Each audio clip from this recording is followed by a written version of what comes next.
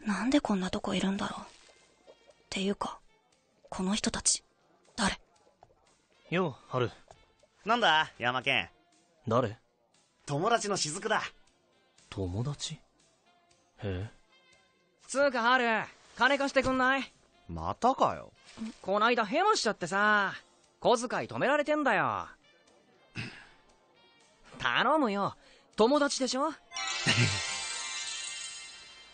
この人、バカだ。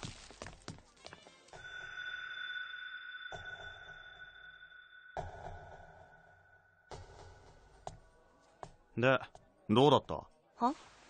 しらばっくれんな てめえが今日学校行ったことは分かってんだよそれが何？た、楽しかったかよ？学校。し、しかしあれだな。こうしてると学校帰りに友達と寄り道してるみたいだよな。吉田くん、もしかして、本当は学校来たいんじゃ？そんなに気になるなら行けば？怖いんだ。なんでかわかんないけど、みんな俺を怖がるんだ。気がつくといつも避けられてる。だから学校はもう嫌だ。でも、うちまで来てくれたのは雫が初めてだ。さっきのあいつらも、初めて俺を怖がらずに付き合ってくれた奴らなんだ。だからもう、学校なんて行けなくていい。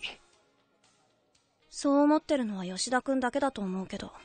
おだから、友達だったらたかったりしないってこと。私もいないからよくわからないけど。あんな友達なら、いない方がマシ。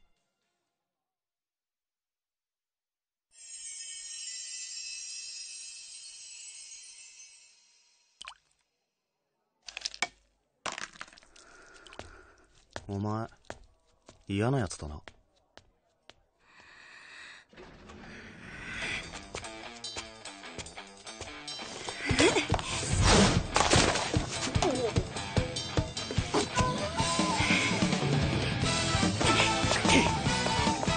なんて男だ。